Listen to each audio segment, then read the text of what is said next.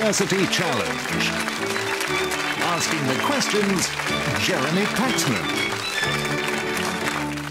Hello. Phase two of our double elimination quarter-final stage concludes tonight. Last time we saw Bristol University join Royal Holloway London in qualifying for the semis. Tonight we return to the losers bracket.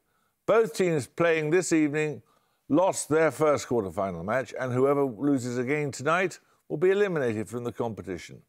The team from Newnham College, Cambridge, began their contest with a narrow defeat at the hands of the Courtauld Institute of Art. Their losing score, however, was among the highest of the first round and earned them a repechage match against the University of Sheffield, which they won comfortably. They then beat Cardiff in round two to set up a first quarter final against Bristol, in which they eased their opponent's path to victory by incurring five five point penalties on starter questions. Across all four matches, their average score is 150 and their average age is 22. Let's meet them for the fifth time. Hello, my name's Bethan Holloway Strong. I'm from Surrey and Australia, and I'm studying English. Hello, I'm Hannah Bowen. I'm from Gateshead, and I'm studying German, Russian, and Polish. This is their captain. Hi, I'm Roma Ellis. I'm from Nottingham, and I'm studying philosophy. Hi, my name is Chen Ju. I'm from Suzhou in China, and I study history of science. Well, the team from Jesus College, Cambridge, squatted aside a pair of Oxford colleges to reach the quarter-finals, with St Catherine's College and University College barely managing half Jesus' score each time. Against UCL, however, they never really managed to get out of first gear. They fared well on the buzzer, but bonus sets on anatomy, 14th century history, and picnics in fine art yielded little fruit. With an average score so far of 165 and an average age also of 22, let's meet the Jesus team again. Hi, I'm Josh Kay. I'm from Northwest London and I'm studying maths. Hi, I'm Juliet Tyndall. I'm from Birmingham and I'm studying Spanish and Portuguese. And this is their captain. Hi, I'm Hamish McGregor. I'm from Cambridge and I'm studying for a PhD in cancer genetic epidemiology. Hi, I'm Samir Agarwal. I'm from London and I'm studying engineering. Well, you all know the rules by now, so fingers on the buzzer. Here's your first starter for 10. What surname links all of these? an English navigator who served the first Tokugawa shogun, an early US First Lady and prominent woman of letters, the composer of The Death of Klinghoffer, and the authors of The Plague Dogs and So Long and Thanks for All the Fish. Newnham Ellis. Adams. Adams is correct. Right, you get three bonuses on a European city. Which European city is the title of a 1998 play by Michael Frayn concerning a meeting between Niels Bohr and Werner Heisenberg to discuss the German atomic bomb program? Oh, probably Copenhagen. Copenhagen. I think it is. It is Copenhagen. Copenhagen is correct. In a phrase also associated with Richard Feynman, the US physicist David Mermin described the Copenhagen interpretation of quantum mechanics as shut up and do what? Do you, do maths, maths yeah. Maths. No, it's calculated. Oh. Born in 1879, which physicist responded to the Copenhagen interpretation with the words, At all events, I am convinced he, meaning God, does not play dice? Einstein. Einstein. Well done. Ten points for this. The Jatiya Sangsad, or House of the Nation, is the parliament of which Asian country, where President Abdul Hamid was elected for a second term in 2018? Independent since 1971. Jesus Agarwal. Bangladesh. Bangladesh is correct. You get a set of bonuses now on a novelist and scholar. Noted both for crime fiction and her verse translations of Dante, which author wrote advertisements for Colman's Mustard and Guinness in the 1920s to establish her financial independence? I don't know. Any ideas? The authors from the 1920s. Wolf. Yeah, could be. Yeah. Virginia Woolf. No, she was much more serious. Dorothy L. Sayers. Sayers described her amateur detective, Lord Peter Wimsey, as a cross between Bertie Wooster and which Hollywood actor born Frederick Austerlitz in Nebraska in 1899? It's not like Humphrey Bogart or something. Could be. Yeah, Yeah. could be. Or Fred Astaire, possibly. I don't know. Yeah, Is What that, you think? is that right? What do you think? Not sure. You, Yeah. you- Um, Fred Astaire. It was Fred Astaire. Good. And finally, featuring Harriet Vane, Sayers' 1935 novel Gaudy Night is set in which fictional Oxford college? It shares its name with the town on the River Severn, the birthplace of Charles Darwin. On the seven. The fiction. Mm, it's not Porterhouse, is it? No, that's not a real place, is it? Is it Gloucester or possibly? Is that on the seven? It's not right by the country, isn't it? Go, yeah. Gloucester. Gloucester College. No, it's Shrewsbury College. We're going to take another starter question now. The US states with the capitals Jackson and Harrisburg give their names to the principal subdivisions of which geological period, ending around 300 million years ago, it's associated with the Unum Carboniferous. Carboniferous is correct. These bonuses are on a faunal boundary line, marking the boundary between Siberian and Japanese ecological regions. The Blakiston line is a faunal boundary that runs between which two Japanese islands? Um, it should be Hokkaido and the other one, but I don't know what's beneath Hokkaido. Honshu? Yeah, yeah, it was Honshu, Honshu. yeah. Hokkaido and Honshu. Yeah. Hokkaido and Honshu. Correct. Illustrating the division between the islands, the species Ursus arctos and Ursus thibetanus are native to Hokkaido and Honshu, respectively. What is the common name for the family of mammals to which these species belong? The bears. Surely Something bears. Like. Yeah, Ursus yeah. is bears. Bears. Bears is correct. The Blakiston line marks the northern limit of the Japanese species of which genus of primates, making it the northernmost monkey species in the world? Macaques? Yeah. No. Uh, are they the ones Oh, that isn't it more the Yeah, yeah, yeah. Yeah. Try that. The But mechanics. the Japanese macaques. Macaque is correct, yes, well done. We're going to take a picture round now. For your picture starter, you're going to see the flag of a supranational organisation. For 10 points, please name it. Newnham Chan. International Association of, Avi- of Aviation. No, it's not. Jesus Kay. IATA. No, it's the Nordic Council, so we'll take the picture bonuses in a moment or two. 10 points for this. In one of the earliest recorded events in Athenian history, which Greek statesman and former Olympic champion attempted a coup in 632 BC with backing from the rival city of Megara? He shares his name with the race of robotic beings featured in the Battlestar Galactica franchise. Newnham Ellis. Cylon. Cylon is correct. Well, we just saw the flag of the Nordic Council, which promotes cooperation between countries in the Scandinavian region. For your picture bonuses, you'll see flags of three minor members of the Council. Five points for each you can identify. Firstly, this autonomous region. This is the Åland Islands, I think. I'm not sure. Okay. Does that sound good? Uh, nominate Chen. Åland Islands? The Åland Islands is correct. Secondly, this is the flag of which peoples who have observer status on the Council. That's Sami. Sami, yeah. Sami. Sami is correct. And finally, That's uh, Greenland. That's Greenland. Greenland. That is Greenland. Well done. 10 points for this. Warrington Rylands, South Shields, North Shields, and Thatcham Town are among recent winners of which knockout cup, contested by clubs in tiers 9 to 11 of the English football pyramid? Jesus Agarwal. The FA Trophy. No? Anyone want to buzz from Newnham? Newnham Ellis. Minor Leagues Championship. That's the FA Vase. The trophy is for tiers 5 to 8 clubs. 10 points for this. Similar to pasteurization, what thermal process is used to inactivate enzymes in solid foodstuffs to preserve the food? The same term is used in cooking for the process of scalding by brief exposure to boiling water. Newnham Blanching. Blanching is correct. You're doing well. You get three bonuses on the British born astronomer Cecilia Payne Gaposchkin. Entitled Stellar Atmospheres, Payne Gaposchkin's 1925 PhD thesis showed that stars were mainly composed of which two elements? Hydrogen and helium. Correct.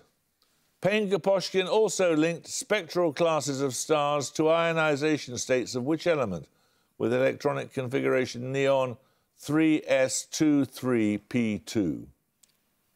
Okay, so could it be Three years. I don't know. iron? Oh no, I think it are might be iron because they make iron. I at? know. Iron. No, it's silicon. Oh yeah, no, sorry. Which of Payne Gaposchkin's doctoral students gives his name to an equation estimating the number of possible extraterrestrial civilizations in the Milky Way? I've Oh heard goodness. of this, but I, I have heard I of can't this. I have heard of it. It's not. I'm, I'm thinking letter G, but I I'm, f- I wasn't sure I heard the. It's So it's possible, estimating like, the amount of extraterrestrial- extraterrestrial. Yeah. So it's like sometimes something, times something. It's Does like anyone have I, a th- name? I think his surname begins with G, but I don't know. Gordon. Gordon. No, it isn't. It's Drake. Ten points for this. From the Greek for container and shape, what term is used in archaeology for a non-functional survival in shape or decoration that implies derivation from an earlier form? In modern design, the same term describes, for example, electric light bulbs in the shape of candle flames. Jesus Agarwal. Skeuomorphic. Correct? For your bonuses, I want you to name the following figures from descriptions in the Stanford Encyclopedia of Philosophy. All three were born before 1730. His thought combines a commitment to a number of Cartesian principles with elements from ancient Stoicism and medieval Jewish rationalism into a highly original system. Spinoza, maybe? I don't know. I don't know if that was the right time, but. I don't know. Spinoza. Spinoza is correct. One of the most important philosophers to write in English, a thoroughgoing exponent of philosophical naturalism. Could be Hume. Yeah. Or was that the right? Is it early enough for Hume? I don't know. Who's the other big English one? I don't know, to be honest. The other what, sorry? The English one that early. Um, I know. but- It's like Mill or a log? I, No, I think go Hume. Hume. It is Hume, David Hume. And finally, the central figure in modern philosophy, he synthesized early modern rationalism and empiricism. His fundamental idea is human autonomy. It's not Kant. Or Voltaire, possibly rationalism, but yeah, I don't, I don't know. um, let's go with Kant. Kant. Kant is correct. 10 points at stake now. In 1946, the US military moved the population of what island location in order to carry out Operation Crossroads? Newnham Ellis. Bikini Atoll. Bikini Atoll is correct. Your bonuses are on pairs of words that differ only by the substitution of the initial letter A for an E, as in ago and ego. In each case, give both words from the definitions. Firstly, two common British trees. One is a catkin bearing tree of the birch family, the other of the genus Sambucus, bears white flowers and dark edible berries. Old, oh yeah. Older and elder. Alder and elder is correct. Secondly, the genus of plants that includes the Michaelmas daisy and a class of organic compound often responsible for the fragrance of flowers and fruits. Aster and Esther. Yes, Aster and Esther. Correct. And finally, a word of French origin meaning jargon or slang, and a fungal disease of rye that can cause food poisoning. Argot. Argot and Ergo. Yes, it's argot and ergot. We're going to take a music round now. For your music starter, you're going to hear an excerpt from a musical. For 10 points, please give me the musical's title. Her ups, her downs are second nature to me now. Like breathing out and breathing in. I was serenely independent and content before we met. Surely I could always be that way again. And yet. Newnham Ellis. My Fair Lady. It is My Fair Lady. Well done. Well, you just heard Rex Harrison performing I've Grown Accustomed to Her Face from the original recording of Lerner and Loewe's My Fair Lady, which won three Platinum Awards. For your music bonuses, songs from three more musicals which also won Platinum Awards. Five points for each musical you can name. First,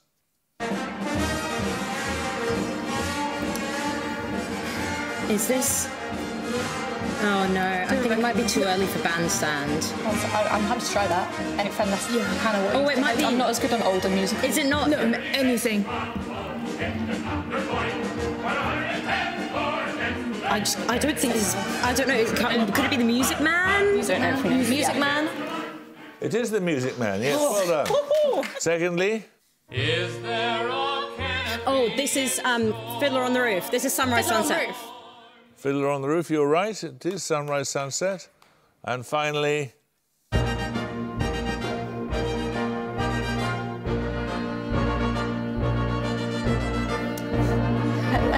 I'm gonna.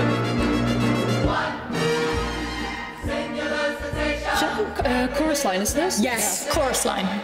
Chorus line is correct. Well done. It was fun watching you get those. Ten points for this. The term stare decisis refers to the principle that underpins what legal convention in which a court judgment is used as a basis for similar decisions in subsequent cases. Newnham Bowen. Legal precedents? Precedent is correct, yes. You get three questions on the film director, Mia Hansen-Løve. Hansen-Løve's 2014 film Eden contrasts the struggling career of a fictional French DJ with the rising fame of which real-life electronic duo? Daft, Daft Punk. It's French, I suppose. Yeah, makes sense. Do we think? Yeah. Daft Punk. Daft Punk is correct. Who plays the lead role of the philosophy teacher Natalie in the 2016 film Things to Come? Her other films include Michael Haneke's The Piano Teacher and Paul Verhoeven's Elle. Um, I don't know the name of the actress and um, the piano teacher, so um, um, yeah, I don't know. Sorry, no. Uh, Anything who, anyone who looks like her? No, I maybe? don't uh, yeah. Eva Green. No, it's Isabelle Huppert. Oh. The title of Hansen Løve's 2021 film Bergman Island refers to Fårö, a small island just north of which larger Swedish island? I, I, I What's don't that think one name a that I single forget the name island. of? That's uh, next to Sweden, in between Sweden and Finland. Yeah, It's an know. island, and I never remember its name. Oh, I, no, I'm actually gonna. Yeah, oh, I'll know it when I hear it. I'm sorry. I don't know. Yeah. It's not like Gotland or something. It is Gotland. Well done. Ten points for this. I need a given name and a surname here. HeLa is an immortal cell line used. Jesus Tyndall. Henrietta Lacks. Henrietta Lacks is correct. These bonuses are on popes. In each case, identify the pope from a description of his pre-papal career. I need the papal name and number in each case. Firstly, professor of theology at the University of Regensburg, then Archbishop of Munich and Freising, then prefect of the Congregation for the Doctrine of the Faith. John Paul II, is it? John Paul II. That's Benedict XVI. Secondly, papal nuncio to Weimar, Germany, later Vatican Secretary of State. In this capacity, he helped draft an encyclical criticising the Nazis. Oh, God. Is that Galen? No. Is it Paul VI or something? I've got, I've got literally no idea. Paul VI. Now, that was Pius XII. And finally, underground seminary student during the Second World War, then ethics professor, who later, as a bishop, vocally opposed communism. Is that John Paul II? John Paul II. That is John Paul II. Yes. Ten points for this. Discovered in 1801, which Group 5 transition metal was initially known as columbium? Used in superconductors and optical components, its modern name comes from the daughter of Tantalus in Greek mythology. Newnham Ellis. Niobium. Niobium is correct. Well done. These bonuses are on space in 20th century art. Born in 1887, which US modernist painted Starlight Night, a watercolour in which she represents stars as irregular shapes against a blue watercolour background? Uh, any US watercolorists? I don't know any US artists Hannah, that did watercolours. No, I don't have any watercolours. Okay, pass. That was Georgia O'Keeffe. Oh. Which US painter and graphic artist was one of a number invited by NASA to attend the launch of Apollo 11, resulting in his stoned moon drawing, one of a series of lithographs inspired by the event? Ooh, a, a graphic artist. Sounds like Lichtenstein. I don't know if he Lichtenstein. sort of thing. Lichtenstein. It wasn't, it was Rauschenberger. Which pop artist created the colour screen print Moonwalk 1987, a reimagining of a photograph of Buzz Aldrin standing on the moon? This sounds yeah Warhol. Oh no, what were you going to say? I know it sounds probably Warhol. What were you so- going to say? I was going to say it's this sounds like Warhol. Oh right, right, right. Okay, Warhol. Warhol is correct. Ten points for this. St Cuthbert, the patron saint of the north of England, is buried in which Norman cathedral? Jesus Agarwal. Lindisfarne. No, you lose five points. The seat of the fourth ranked bishop in the Church of England? Newnham Ellis. York. No, that's the second rank. Oh yeah, no. It was Durham. Ten points for this. Derived respectively from an equilateral triangle and a square, the two fractals known as the gasket and the carpet are named after which Polish mathematician? Jesus Agarwal. Sierpinski. Sierpinski is correct. These bonuses are on Arctic exploration. The Arctic Sea to the north of the Kara Peninsula is named after which 16th century Dutch navigator? Who? Is that no idea? Jan Mayen? Um, I'm not sure. Just, just go for I'll it. go for it. Um, nominate you. Jan Meyer? No, it's Willem Barents. Barents died in 1597 off the coast of which archipelago in northern Russia? Consisting of two large principal islands, its name means new land. I don't know any Jan archipelagos. Meyer again, I'm not sure. Kamchatka, an archipelago. It's not. Not New Not Novosibirsk, is that? Just, No, that's not Novosibirsk. Um, just say that. Novosibirsk. No, it's Novaya Zemlya. You are now sailed into the north of my lady's opinion, where you will hang like an icicle on a Dutchman's beard. Thought to allude to Barents, this line is delivered by Fabian to Sir Andrew Aguecheek in which of Shakespeare's plays? Uh, Twelfth Night, I think. Twelfth Night. Twelfth Night is correct. Well done. Right, we're going to take another picture round now. For your picture starter, you'll see a photograph of a musical act. For 10 points, please give me their name. Newnham Bowen. Sparks? That is correct, yes. That was the band Sparks. They were the subject of a 2021 documentary and a concert film directed by Edgar Wright. For your picture bonuses, you're going to see stills from three concert films by directors better known for their narrative films. In each case, I want the group that is the subject of the film. Firstly, Ooh, I'm not sure. Um, Any ideas? Oh my. I don't recognise anyone, so. What is that instrument? Oh, that's just a guitar. That's a guitar. Like, Yeah. Um, do you have any? I don't. Okay, think pass. that's the band. Secondly, big band. Uh, got any ideas? In your I'm not sure, no, sorry. Anything? Just Um, anything at No, I don't know. Go with Duke Ellington again. Duke Ellington. no, that is the Buena Vista Social Club. Finally, Oh, um, Talking Heads. Yes. Talking Heads. It is Talking Heads, yes. One point for this. Born in Dublin in 1782, John Field is often described as the originator of what form of musical composition, whose later exponents include Frédéric Chopin. Often written for solo piano, it evokes a period of time within a full day. Jesus McGregor. Nocturne. Nocturne is correct. These bonuses are on eponymous chemical reactions. Name each one from the description. Named after the French and US chemists who discovered it in 1877, which reaction uses a halogen carrier to substitute alkyl or acyl groups into a benzene ring? Uh, uh, Friedel Crafts, maybe. Possibly, but it's some French American. I can't think of anything. Friedel Crafts. Correct. Named after the Nobel laureates of 1950, which addition reaction forms six-membered rings? It's not Grignard, is it? No. Grignard. That's a Diels-Alder reaction. After a pair of Russian chemists, what two letters denote the oscillating reactions that form rings or spiral patterns in petri dishes? No. I've seen it, I can't remember it. Pass. It's a BZ reaction. 10 points for this. An example of Shakespeare's infrequent use of a chorus. Which play opens with the invocation of a muse of fire? Newnham Ellis. Henry V. Henry V is correct. Three questions on designers and architects for your bonuses, Newnham. In 1967, the designer and architect Sir Misha Black created the distinctive black and red on white design used for street signs in which London borough? Anyone know this? London. A London I think I've seen them, but I don't know which. I don't know London, so. Black, Southern. black and red and white. I mean Westminster. Westminster. Maybe. Oh, Go on. That's not borough, is it? Oh, it's not, oh, Or yeah. Is it? I, mean, it's City of Westminster. So I can only name one borough. Yeah, I don't know. I'm going to say Southwark.